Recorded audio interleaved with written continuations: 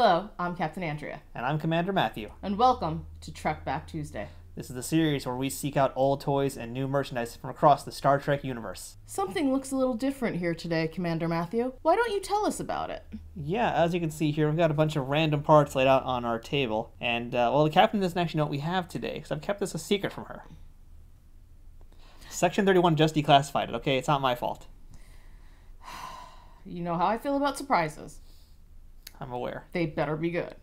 I think this will not disappoint you, Captain. So we have two different things here today from Triple Fiction Productions.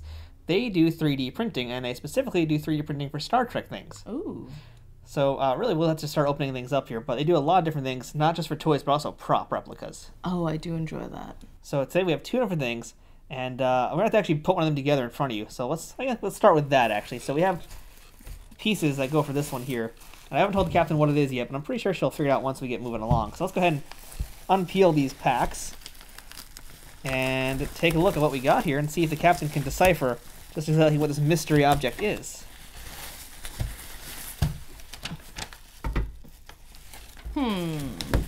Oh, this is actually really cool. Ooh. Ooh. I'm just gonna keep making happy sounds until we finish it. This actually looks really cool. Any ideas yet, Captain? Oh, I mean, I would say it's a holodeck. Mm-hmm.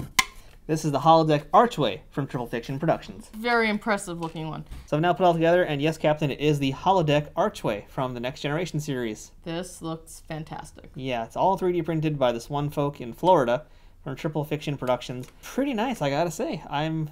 It's actually my first time looking at it. Also, I've basically kept it in that bubble wrap for quite some time until today when we finally unveiled it. Hmm. So, Captain, if you'd like to grab your side of the door, I'll grab mine. and I'll show you guys at home that this, in fact, does function. Okay, ready? One, two, three. And Look who's there! well, hey, look at that. It's Lieutenant Barclay, just hanging out in the holodeck suite. Of course he is. Surprise, surprise. Wouldn't have it any other way. Exactly. But hey, it fits together really smoothly, doesn't it? That is impressive. yeah. So it's a labor of love, but it's not a cheap labor of love because these things do not run cheap No. in most cases. Uh, most 3D printing, I wouldn't expect to run um too cheaply. Yeah, but it's pretty nice. But that's not all I bought. I have one other item here as well. If you want to move the holodeck archway out of the way, I'll show you this. Oh, one quick note. This is extremely light. Yeah, all this stuff is pretty light. there goes Barclay. No surprise there. Barclay's down. Yeah. This is very impressive. I also have here with us today the captain's chair aboard the Defiant. Ooh. Again, very lightweight. Oh my gosh, this is beautiful. I don't know how else to say it. I, this is this is a work of art. It really is. I mean, a traditional work of art, but it is Really is. definitely this. This is gorgeous. I love the color. Um, for both of them, the color that they used, you know, the color material that they used is just perfect. The decals are spot on. The craftsmanship in this is just fantastic. It's really, really cool Defiant chair. So Playmates actually did do their own Defiant chair, but it was part of like a build-a-diorama set essentially. And uh, you know, I kind of like this one because also that that was a different scale for some reason too. I don't know why they made them like five inches instead of the normal size. Weird. It's a little bit bigger. So this is actually in scale with the typical Playmate Star Trek figures. Ooh. And Well, to prove that point, know? oh well, it's time for an inspection from Captain Sisko. Let's see if we can get him in the chair. Um, with those legs? Oh, I kind of wonder. Well, luckily he's actually his legs aren't as bad as we might think, but let's see if we get him in there. He he hangs a little bit out, but uh, yeah, he's, he's actually in there. It looks pretty good. I am impressed.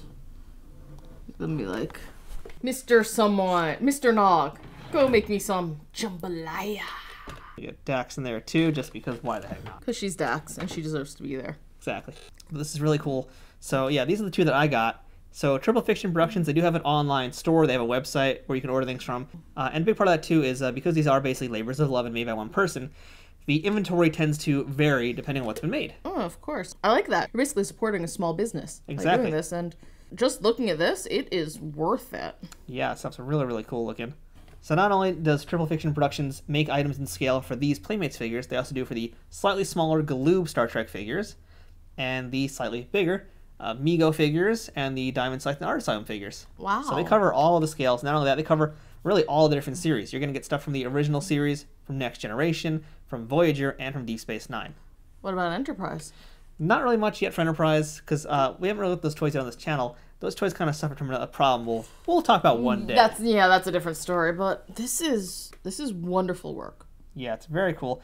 Uh, you know, I don't really buy a lot of 3D printed items typically because of one issue I have, and I kind of have the problem here. I believe it's called stringing, and you can kind of see it a little bit better when I show you the chair from behind. Uh, I believe this, the term is stringing because it's when it's printing out the layers and like maybe one dries too soon or whatever reason, there's different reasons. You get a lot of these lines, a lot of this weird texture. That just thing I just personally don't like.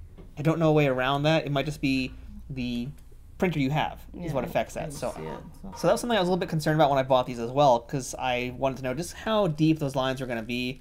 They're noticeable, but I don't think they take away, to be completely honest, from this. No, not at all. I mean, I I get what you're saying, but in this case, yeah, I'm not seeing anything that makes me really distracted. If anything, in the holodeck, I do see a little bit of something funky on the edges.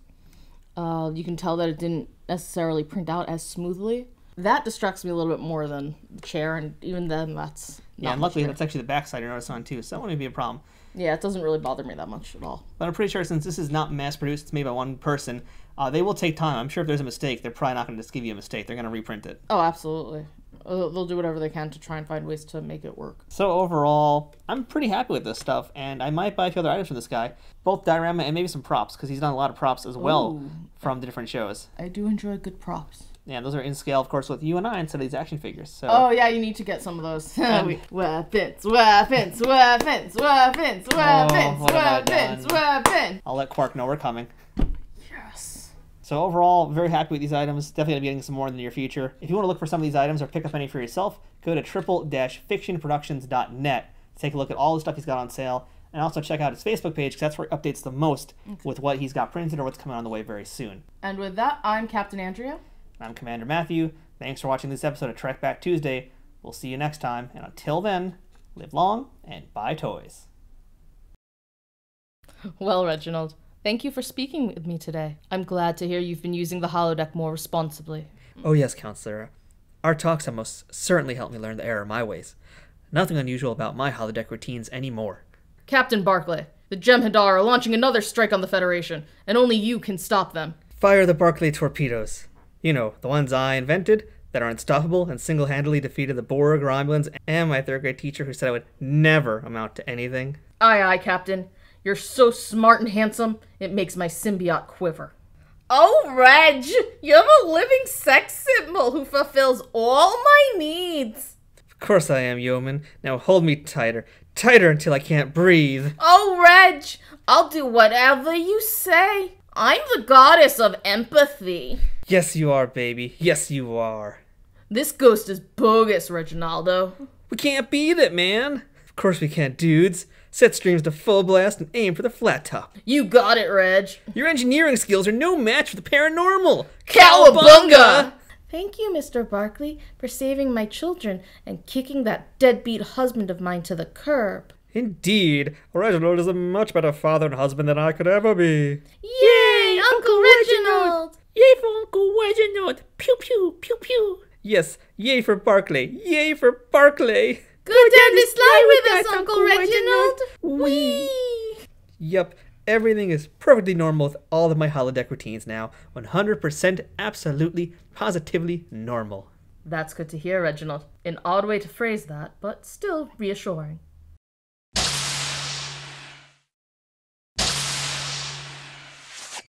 Excuse me, I thought no one else was here. If anyone finds a ceremonial lasso, have it sent to my quarters. Good day.